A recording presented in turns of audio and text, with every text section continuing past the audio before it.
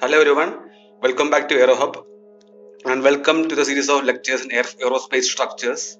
In the previous lecture, we discussed about how to estimate the moment of inertia of an idealized section and we discussed what is the importance of idealization of a structure. And in this lecture, we'll find out how to find out the bending stress of a wing section which is idealized. We can see in this question, this is a wing section and it is subjected to a moment, a bending moment of 300 kilonewton meter in a vertical plane and it is idealized in such a way that the boom areas, we can see six boom areas here, one, two, three, four, five, six and the boom areas will be carrying the bending stress and the skin, this is the skin of the wing section and the skin will be carrying the shear load. Okay, so the ultimate aim is to calculate the amount of bending stress carrying by each and every boom areas. Here we have six boom areas and this section, this wing section is symmetric about the horizontal axis that is the x axis. And it is given the boom area of 1 is equal to boom area of 6 similarly the boom area 2 is equal to 5 and boom area of 3 is equal to 4 now you are aware that to find out the value of bending stress for a symmetrical structure you can see this section is symmetric about x axis that is horizontal axis. We have the formula to find out the bending stress sigma is equal to mx divided by ixx into y plus my divided by iyy into x. This is a formula to calculate the bending stress of a symmetrical section. And it is given in the question the bending moment is applied in a vertical plane that is we have mx. Okay, mx is equal to 300 kilonewton per meter, kilonewton meter, not per meter, kilonewton meter, and we don't have the value of my. And basically, the equation to find out sigma will be mx divided by ixx into y and this is the formula to calculate the value of bending stress for this particular loading case. If the section is not symmetric, we have to find out the value of my as well as the value of iyy. Since the section is symmetric, the value of ixy that is the product moment of inertia will be 0 and finally the equation will be becoming mx by ixx into y plus my by iyy into x. But in the question we don't have the value of my. So the equation becomes sigma is equal to mx by ixx into y. Now we will we have to calculate the value of moment of inertia. Moment of inertia is given by ixx is equal to n into a y square. If you have seen the lecture of uh, last video. If you have seen the last video i have discussed how to find out the moment of inertia of a idealized section. In that particular video i have explained that moment of inertia depends upon boom area for the idealized section. So ixx is equal to n is number uh, nothing but the number of boom areas. A is the area of the corresponding boom area. Y is nothing but the distance of boom area from the neutral axis or the horizontal axis so we have boom areas 1, 2, 3, 4, 5, 6 and the boom area is uh, B1 is equal to B6 and B2 is equal to B5 and B3 is equal to B4. So I can write 2 into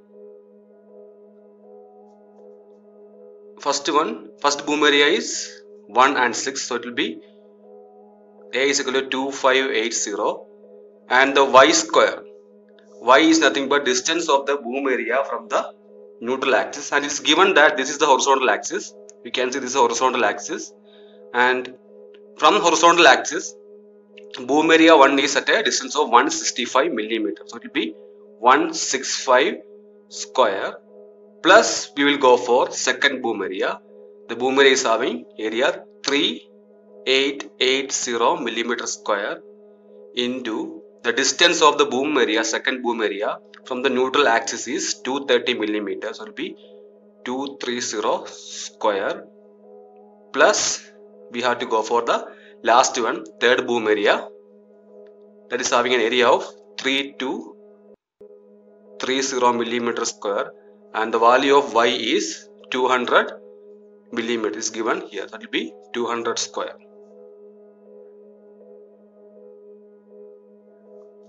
and we have to multiply by 2 because we have a symmetrical structure and we have boom area below the horizontal axis. So it will be when you calculate you will be getting 809 into 10 power 6 millimeter power 4 this is the value of ixx and the value of mx is here 300 kilo newton meter. So it will be 300 into 10 power 6 kilo newton millimeter.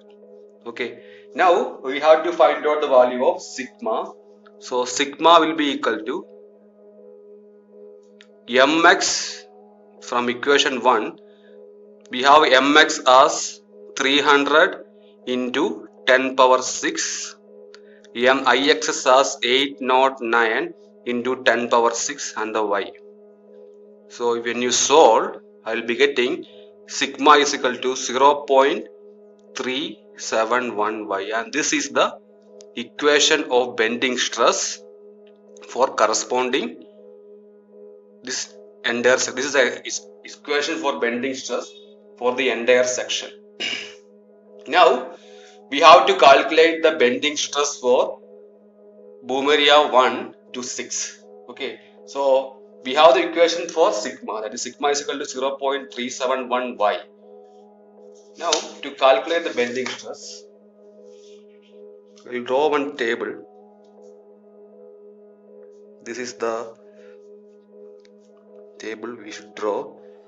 This is boom and this is for y distance and this is sigma. This is for boom boom area 1 then this is the y distance and this is sigma. That will be newton per millimeter square. This will be y millimeter and this is boom number 1 2 3 4 5 6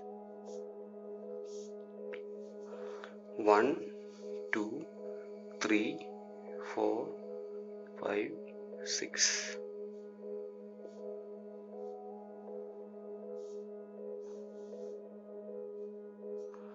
okay so boom 1 will be at 165 millimeter from the horizontal axis. Boom 2 will be at 230 millimeter. Boom 3 will be at 200 millimeter. And boom 4 for boom 4 it is below the horizontal axis of symmetry. Boom 4 boom 5 and boom 6 are below the horizontal axis of symmetry. So the value of y will be negative. For boom 4 the value of y will be minus 200 minus 200 and for boom 5 it will be minus 230 and for boom 6 it will be minus 165 okay. Now we have sigma is equal to 0.371 into y.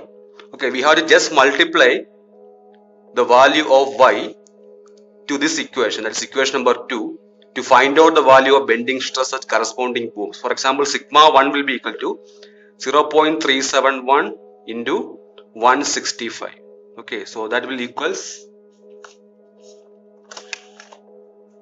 61.2 newton per millimeter square. This is the value of sigma 1 so this will be 61.2 newton per millimeter square. That's already written. Similarly for boom 6 we will be having minus 61.2 newton per millimeter square. Because we have the same value of y distance we have a the only difference is it's having a negative sign. Similarly for sigma 2 this will be 0.371 into 230 that will be equal to 85.3 newton per millimeter square be 85.3 newton per millimeter square. Similarly for boom area number 5 we have 85.3 Newton per millimeter square and sigma 3 will be equal to 0.371 into 300 no no 200 so that will be 74.2 Newton per millimeter square. So it will be 74 this is negative sorry. 74.2 Newton per millimeter square this will be minus 74.2 Newton per millimeter square. Okay.